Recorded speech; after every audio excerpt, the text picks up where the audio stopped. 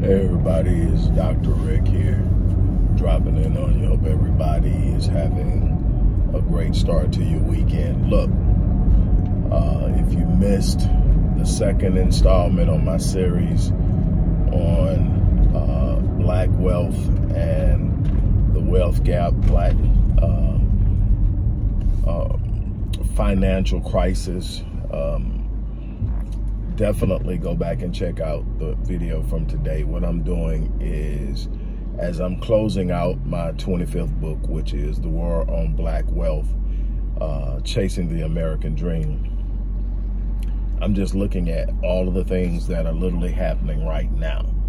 We have, you know, everything from reconstructed black codes, convict leasing, redlining, benign neglect, urban renewal, all these different things that had a negative impact on black wealth. But um, it's so much more. So if you haven't checked it out, check it out. Also, as always, we need your support. Support the work we're doing. Black Men Lead, the work we're doing in the community with young black uh, girls and young black females dealing with uh, childhood sexual abuse, domestic abuse, and so much more.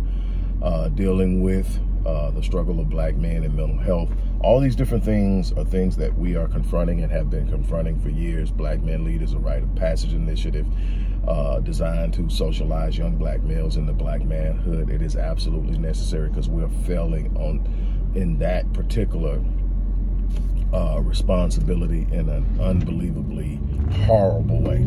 So we need your support. What I want to talk to you about now is overall community responsibility. Oh, and don't forget, if you are interested in getting a signed copy of the book, which drops at the end of the month, the link is in the description box. And also, I have decided that I will extend the opportunity for people who want to do tributes in the book. I did that at the beginning of the year. Uh, and I'll have a write-up of how you can do that, but you can literally uh, those people who contribute uh, to Black Men Lead uh, will get uh, to send in um, an attribution or play tribute to somebody. It could be your parents, your mentor, it could be yourself, something you've accomplished you're excited about, but you'll be able to do that. And I'm going to do that until the book actually goes to print. And I'll, I'll have that also in the description box. What I want to talk to you now is why Black Men Lead is so important. There are so many different things that I've covered over the years, from economic crisis, the wealth gap, to the mis uh, my 16th book, The Miseducation of Black Youth in America, to what I called uh, collective cognitive bias uh, syndrome, uh, which I brought out and broke out in Born in Captivity, Psychopathology a Legacy of Slavery. I've dealt with uh, multi-generational uh, transmission of trauma, uh, the, the, epigenetic connection. Uh, did that, have literally traveled and lectured outside of the United States on epigenetics. Um, I have touched so many different things, but let me explain something to you any movement has to have momentum. You want elevation, but you also need momentum. And one of the things that we're finding now is that we don't have the connectivity between black men and black women to create that. Uh, I have always said that we will only get as high and elevated as our women can spiritually lift us. That's their strength. That's their power. That's what they are designed to do is to provide the elevation. But we will never get any further than our men can literally physically lead us. Leading isn't saying I'm a leader. Leader is being out front, paving the path. Leading is creating the environment for those who you cover to be comfortable and secure in doing what they're designed to do. Leading is setting an example for those that follow so they can come along and actually do it better than you. Mentoring, pouring into. And when I initially uh, designed the Black Men Lead Rite of Passage initiative, it was primarily focused on reducing violence in the black community among young black males. Um, it was on the heels of the research of dealing with the myth of black on black crime and why it, it, it's not a reality until we start talking about white on white crime and all others because 84% uh, of white people are murdered by other white people. It's a proximal thing. So um, we dealt with all of that. But when I originally did this, my focus was on wondering if we could predict uh, the risk of any one child committing violence. Found out we could. Uh, work from Dr. Howard Stevenson, Dr. Joy DeGruy, most famously known for her work on post-traumatic slave syndrome, which I also researched in studying uh, multi-generational uh, transmission of trauma. But uh, in connecting with those two, come to find out that there are direct uh, attrib uh, attributions or contributors to the proclivity for violence that can be used to predict. Matter of fact, Dr. DeGruy created the first African American adolescent uh, respect scale. Why? Because we found out the feeling of being disrespected was the number one catalyst for violence among young black males. Uh, the number two uh, catalyst was the lack of proper racial socialization. So in essence, not proper being not properly not being properly socialized means that you're not prepared or socially aware. I'm excuse me, I'm, I'm up here uh, got actually meeting a kid to mentor a kid at the cigarette shop. I'm calling a kid, he's 28. But uh, to, to, so I'm meeting him up here. So I'm gonna hurry up and finish this. Look, so what we found is you have these five primary factors. Number one, a kid feels disrespected. Uh, you go to prison and it's lined with people who have harmed or killed people because in some way they interpreted what was done as disrespect. Number two is the lack of proper racial socialization. I'm gonna come back to that. Number three is being a witness uh, to violence. And we all know if you grew up in the hood, you've seen violent acts. Uh, being a victim of violence. Uh, there's a good chance if you grow up in the hood that you have at some point been a victim of violence. You may even be in a home where you are consistently uh, victimized in a violent way. Number five is urban hassle. What is urban hassle? Urban hassle is the things that you experience in the inner city that are just common to it. Sirens all time of the night, gunfire all the time of the night, navigating through gang violence to get to school and get home, navigating through drug use to get to school and get home, um, overcrowdedness. Um, if you're on the East Coast or in the Midwest, L trains, uh, which are extremely loud, just the noise pollution. All of these things come together to put a young black male on edge. It contributes to the proclivity for their risk to commit violence. All of this comes from tons and tons of empirical data that has been broken down so that we can understand that. I have spent years trying to understand it because my goal was to reduce uh, reduce violence on young black males. Not only when I created the program, not only did I discover that it reduces violence, it also does a couple of other things. It increases the chances of uh, completing school, which means that you get a diploma, which first and foremost advances you and gives you a better chance to moving to the next level of whatever that is, whether it's developing a hand skill or developing a professional skill to make a living to where you can support a family, which is extremely important for manhood. Uh, number two, uh, in, in completing school, you're, you're not a dropout. So it reduces the dropout rate. Why is that important? Because kids who drop out, uh, black, uh, males who drop out of school are five times more likely to become criminal minded and end up incarcerated. It also increases the chance of becoming a business owner. Amazing some of the things that we've gotten out of this program because it's one of the principles we teach. Ownership is a responsibility. Um, business ownership is a responsibility. Being able to pass something on to your progeny that is connected to their ability to survive and thrive and live in life is a responsibility. It's not an option. It's not a fantasy. It's a responsibility and it's possible. And we teach them the possibilities. The number one rule, the number one rule, there are 11 principles, the number one principle in the uh, program is that a black man never brings harm or causes harm in any way to a black woman. And then we move on down from there with others that I've discussed and more. It's important because we can't move our, our, our momentum forward without strong black men. We can't move our momentum forward. It doesn't matter how many black men have the bag. That doesn't make you a strong man. That's one of the weakest ideals and definitions of manhood is anybody with a creative mind or hustle to grind can get the bag. Doesn't make them a man. Some of my best grinders that I've ever came across and that I respect are female. Doesn't mean that they're a man.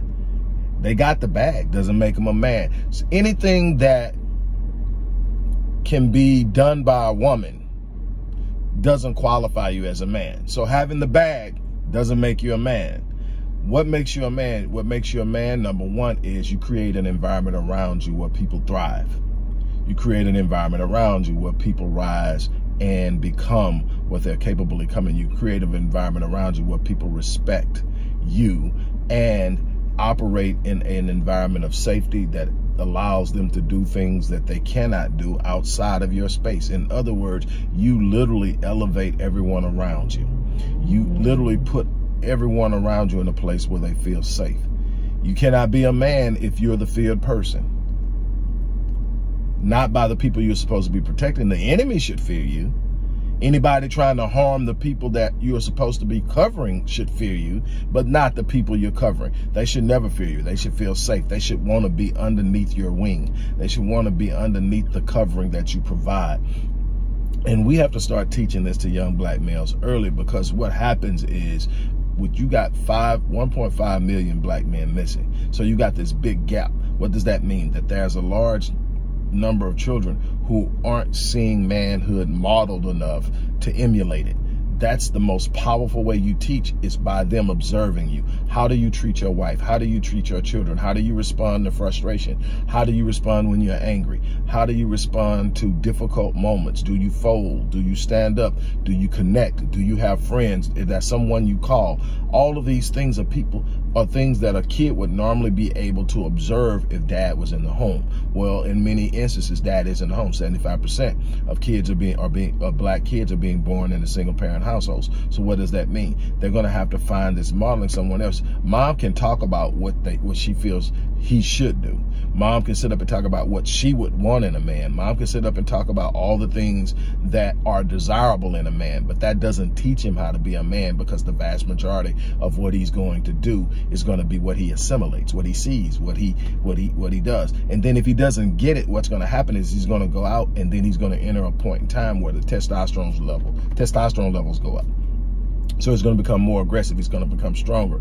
And he's going to need a place to put that and he's going to be frustrated because he's not going to feel he has a place in the world because everywhere he goes doesn't want him there. School starts trying to alienate him as early as five years old. Oppositional defiance, oppositional defiant disorder, uh, ADHD, and everything else that is trying to stick a tag on him, put him in special education at a disproportionate level so that they can get him out of the classroom and put him away so they don't have to deal with him and ultimately ends up leading to him in many instances dropping out of school. And I just told you what happens when he drops out. When he drops out, he is more five times more likely to end up incarcerated. So it's our responsibility to find ways to socialize these young black men. I am a firm believer that we need a universal rite of passage. The Jews have the bar mitzvah and and and and and, and Latinos have their rite of passage. Arabs have their rite of passage. We're the only ones who don't have a universal rite of passage, which teaches the young black male who they're supposed to be, gets them to a po certain point, lets them celebrate the beginning of their journey, and then starts them into the process of responsibility. This is so important to the socialization of the young mind and having him ready to be able to do what he's going to be called on to do in the black community in in in in in, in the responsibilities for his finance and responsibilities for his protecting and the funds responsibilities for his leading and in coming together and creating strategies and agenda he has a responsibility that he has to be prepared for. If we're going to elevate we have a long way to go. What i am saying is we need to start doing better Uh, I get a lot of calls, young black men, uh, males struggling with mental health. Why? Because nobody's there, and that that that that stigma that floats around mental health is really heavy on black males. The older men don't want to do it. Now the young cats definitely don't want to do it. But what's happening? They're killing people and killing themselves at an alarming rate. We up to almost 49% increase in the last six years of young black males killing themselves between the ages of 14 and 24. 49% increase. That's on us. We've got to do better. There's also an increase in intimate partner violence and intimate partner homicide. In other words, the very people that are supposed to be protecting, they're harming. There's a problem in that. We need to do the work.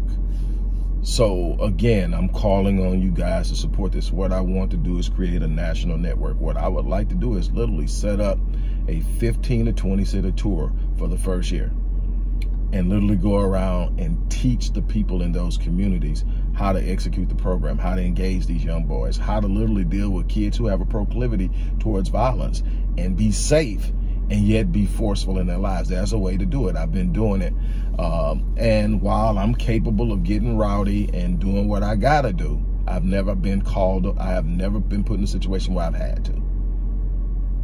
The crazy thing is, this is something that we discovered we discovered that once a young African American male gets angry, there's very little you can do to stop to stem that anger initially. But what we did find is just the simple touch of an elder, a man that he holds in high regard, just the touch, hand on the shoulder, stops the physical aggression. This is powerful. We need to learn this. We need to do just touching from someone that it's not taken as aggression, it's not taken as a threat, it's immediately interpreted as what? Love. Something they haven't gotten. I want this to be universal. The link to support the work we're doing is in the box. Also, keep in mind until uh, the War on Black Wealth actually goes to print, anybody who donates will be able to send in um, a three to four uh, sentence paragraph paying tribute to someone. And uh, it will be in the book, in the front of the book. Uh, the name of the person you're paying tribute to and their, their, their attribution. So uh, right now, we've probably gotten 20 or 30 people who who did it when I first offered it, and then uh, I backed off of it. But as we close out, I'm going to open it back up, and and I'm not going to connect it to anybody having to pay anything to do it. What I'm going to connect it to is if you support Black Man Lead in any way, I'm going to be contacting you for you to send me what you want in the book, and I'm going to make sure it's in there. On that note, I got to get out because I got to get in here. Uh, and meet with this young man. Uh, he's from Chicago. Kid has a unbelievable head on his shoulder, but has nobody there to help him put it together. And we need to do more of that. And so for everybody thinks that I don't, I do this all the time. I've got plenty of people that I'm pouring into that I don't charge. Uh, so on that note, I'm out of here. You guys, I hope that you will support what we're doing. I'm out.